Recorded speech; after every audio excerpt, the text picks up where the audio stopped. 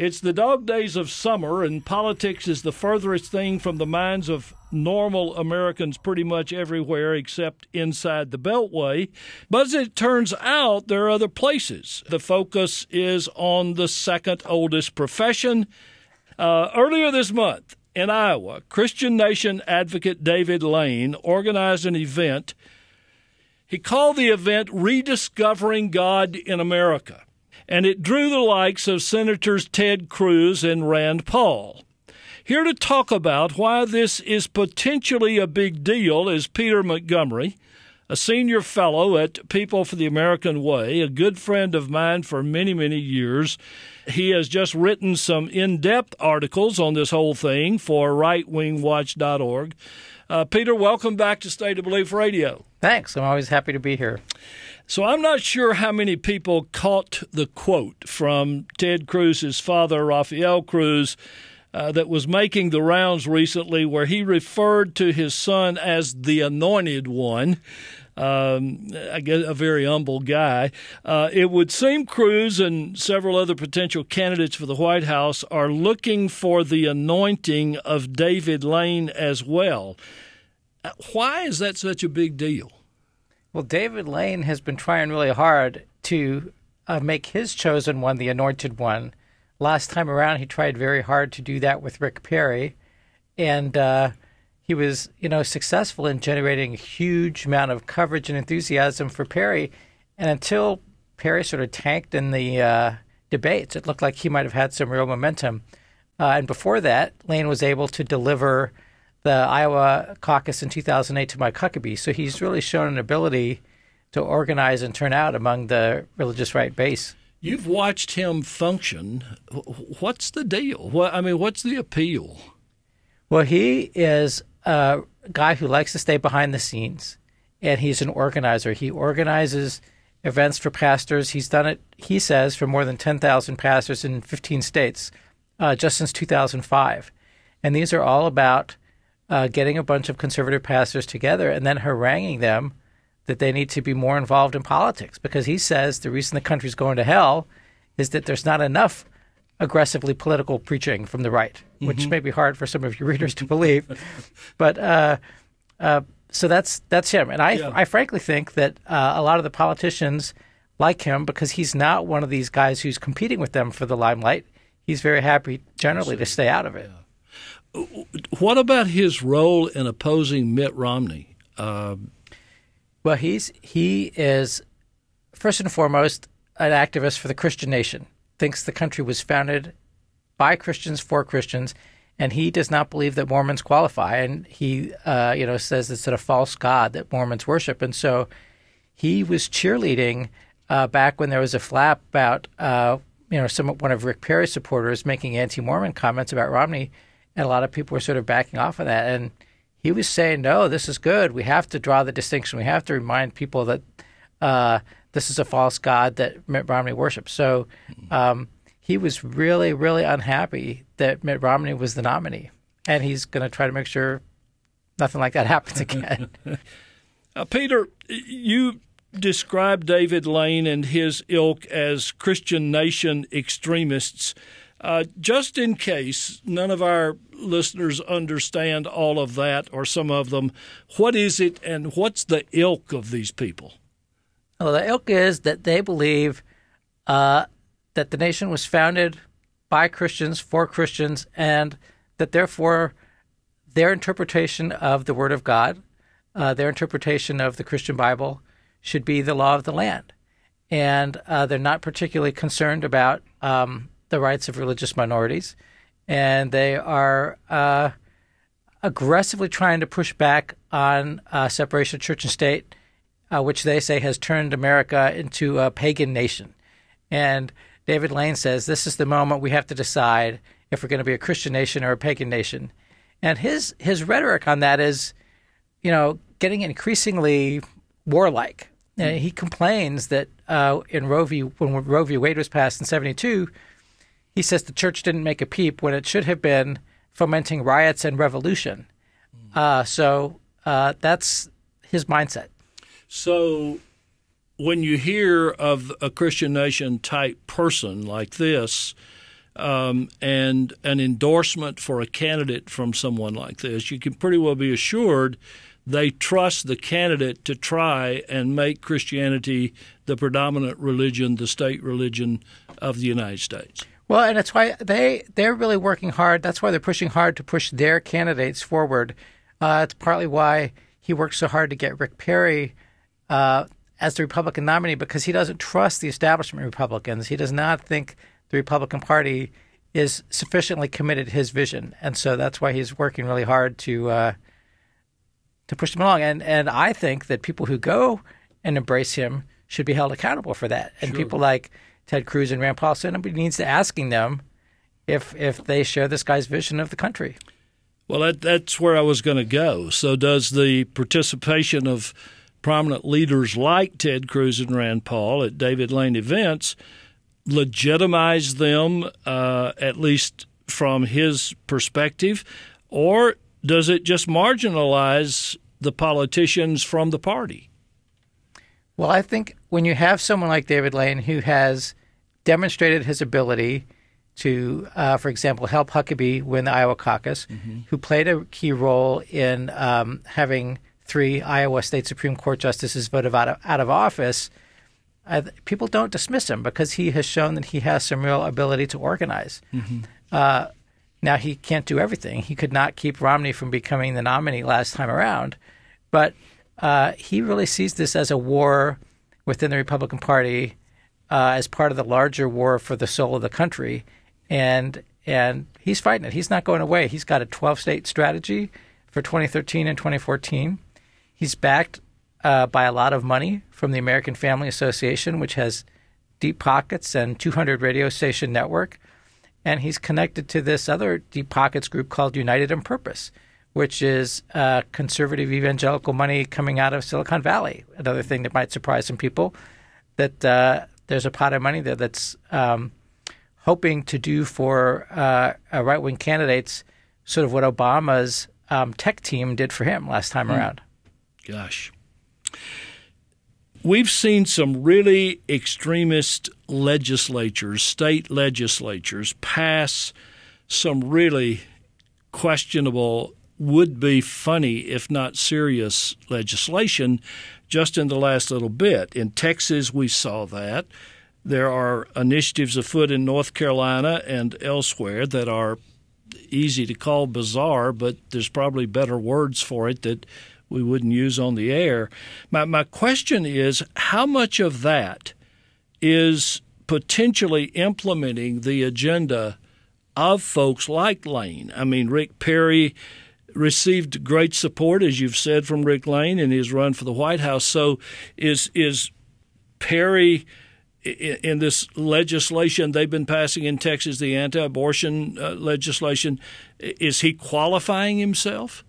Sure, I think I think the wave of that kind of legislation that we've seen around the country since 2010 is the best repudiation of uh, all the mainstream media notions that just because Obama won re-election, the religious right is doomed or dying as a political force. I mean, uh, they elected a lot of really bad people to office, mm-hmm. and those people have gerrymandered the legislatures, and now they're going to town, and uh, people are going to be suffering in a lot of states because of that. And you know, Lane is part of a much bigger movement that has a huge infrastructure. Do you? And I don't want to to chase a rabbit here, but is Lane's fingerprints on these state legislatures that, that have been making these crazy decisions? I think uh, I don't know how directly they are, but certainly in a lot of those states that were the battleground states uh, in 2010 and 2012, he was organized. He was organizing conservative pastors, telling them to mobilize their congregations. He was part of this um, champion the vote effort that United in Purpose, the Silicon Valley outfit, did, uh, which was an effort to register and turn out five million additional conservative evangelicals. Mm-hmm. So yeah, I think in a lot of states, mm-hmm. uh, they certainly help elect uh, a lot of conservatives, whether or not Obama uh, or Romney happen to win that particular state. You say that uh, there is a certainly a divide between Lane and the GOP, and, and I take it that he's proud of that because he doesn't like where the GOP is. Uh, what kind of war is he waging against the GOP? Well, it's kind of funny because from my perspective, there's a lot less distance between him and the rest of the GOP than I would like to see. Yeah. You know, the the party itself has moved so far into his direction, but a lot of it boils down to that uh, report that the party did after Obama won re-election, and there was mm-hmm. a lot of uh, conversation about this sort of autopsy that they did that some uh, social conservatives took as a sign that you know the Washington consultant class was saying we should tone down uh, the social conservative rhetoric, and and that was interpreted by people like David Lane as a declaration of war against them from the party, uh, and so they've you know been making very clear that they're not going to go away, and they are not going to let the party downplay the things that they care most about. Uh, hmm. and I uh, recently, uh, I, the most recent Ralph Reed big gathering here in Washington in the last couple of months, um, Reince Priebus came and made this really almost pathetic plea uh, to the attendant to say, you know, talk about what a great Christian he was, talk about how committed he was, because he does not want to be seen as fomenting a war with uh, this religious right base that the mm. party counts on. My goodness. If, you know, my thoughts go back to someone like Paul Weyrich, and, and I know you've been in this a long time too, so uh, you know those kinds of people. This guy seems beyond Weyrich. Lane seems almost uh, more strategic, more passionate about the, the Christianization of the nation, even than someone like the early Weyrichs did. Yeah, I think you might be right on that. It's it's hard to uh, say for sure, but he certainly his rhetoric, his goals, uh, certainly are at the kind of at the pretty far fringe. You know, when yeah. he talked recently about saying that uh, uh, he wants to force Republican candidates to uh, agree to make the Bible the principal textbook in public schools, and you know turn around this, return us to a Christian culture, or he's going to go after them. That's pretty out there. Certainly is. But you know he's and yet he's he's not a loner. He's working very closely with what we think of as more establishment religious right people. You know David Barton and Matt Staver from Liberty Counsel yeah. and Jim Garlow, they're all part of his uh, his network. They're all allies. How would you profile his agenda? What are the things he talks about most, wanting to change? Uh, well, everything that he says that he thinks is sign of a pagan culture. One is certainly uh, legal access to abortion. You know, he's he's out to criminalize abortion. Uh, the advance of uh, LGBT equality is another thing that he sees as you know an abomination and against God's law. Uh, but he has also pretty much signed on to the whole um, agenda that the, a lot of right wing strategists have tried to sort of merge the religious right with the Tea Party, you know, anti big government rhetoric, anti uh, debt rhetoric, um, and him for him particularly this notion of pushing religion back into the public schools, pushing uh, this notion of a Christian culture and reestablishing, in his words, yeah. a Christian culture. I mean, those are his his motivating forces. Points, yeah. I mean, you think about it. We're sitting here in 2013. He's working toward 2016. Um, you wonder how could it intensify, given where he started. Well, that's true. I think, I think for him, it's really about uh, I don't know of of the of his dozen states in 2013 and 14. I don't know what he sees as sort of the most important uh, uh, battleground issues people there in, in 2014. Mm-hmm. But you're certainly right that it's about you know establishing some more muscle within the party to try to do for whoever he chooses what he tried to do for Rick Perry. Right. He's very clear that he does not want another McCain or Romney. Uh, and Ted Cruz would like to be that man. Mm-hmm. Rand Paul would clearly like to be that man, and I'm sure there's others who would like to be that man. Well, Peter, you um, you and I both know that your organization, People for the American Way, has uh, always been uh, at the forefront of trying to uh, oppose these Christian nation activists. Uh, what what are you all doing on this? I mean, you've got great literature now. What what's PFI doing on this? Well, uh, a big part of what we do through Right Wing Watch, through the blog and our more in-depth reports, is to try to put a spotlight on this and call attention to it. And then we really also we want to hold public officials accountable for uh, making alliances with extremists that and, and giving them credibility they don't deserve. You know, mentioning of course it gives Lane credibility with these 600 pastors when he's got presidential hopefuls tromping through. It's mm-hmm. the same reason we try to uh, call out um, members of Congress when they go on Bryan Fischer's radio show because it gives credibility to his extremism. He's one of the American Family Association's big spokespeople. Mm-hmm. So that's a big part of it. And, and we also uh, have increasingly uh, uh invested a lot of money in uh, youth leadership programs to help get into the pipeline from college progressives to young elected officials um, to help make sure that we have people in office who uh, have a different idea of the American way and the Constitution than David Lane does. Yeah. Peter, when you started this research, I'm, I'm curious. Um, did you think you were going to just confirm what you already thought? And did you do that, or did you also find more than you expected? I actually found more than I expected. You know, David Lane was somebody who I hadn't followed super closely. You know, he would occasionally pop up, and we would occasionally write some a, a quick blog post about him. But I, I started seeing, you know, enough rhetoric that seemed really extreme that I would start throwing things into a file and say, one day I'm going to do a longer report on him.